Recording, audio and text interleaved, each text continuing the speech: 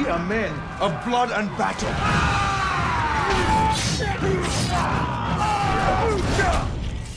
As always, within our, our hero camp, there is tension. Spartacus, Crixus, Gannicus, and Agron our main generals of the army will not always get along. They will not always agree, and it will get ugly between them.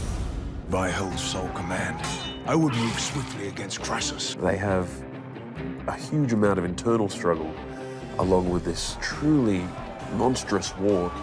Crixus is a general for Spartacus in this season. There's a bit of an ongoing debate with Agron, of course. Gannicus, Crixus, I would have you at my side. I am to stand idle with arm up arse. You to lead in my absence. Still very much Crixus and Agron questioning everything that Spartacus says. Crixus pushing him at every opportunity to refocus on the plan, because a lot of the time he thinks Spartacus is wrong. Make further attempt against my will. Follow those you have struck down this night. He is a commander, the head of the army, and an iron will and something to be reckoned with. For the shadow of Rome is upon us. We shall seek our destiny together. So that all may live free